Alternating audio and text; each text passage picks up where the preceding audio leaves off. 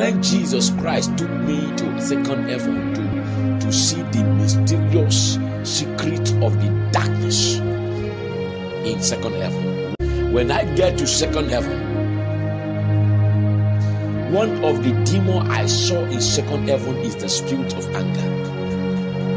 I can describe how the spirit of anger is and what is his work. One of the work the spirit of anger used to do is to destroy man. I call the spirit of anger the consumer because the spirit of anger is so dangerous to the extent that when any Christians get angry, it will start consuming you. It will be uh, how can you can I say it will be consuming you, it will be hurting you, it will be it will be eating you. It's like a shopper. It it will start shopping you, eating you alive.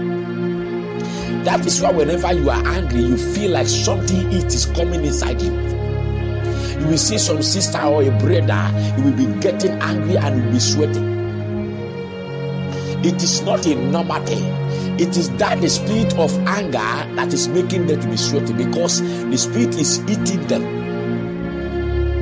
It's eating them.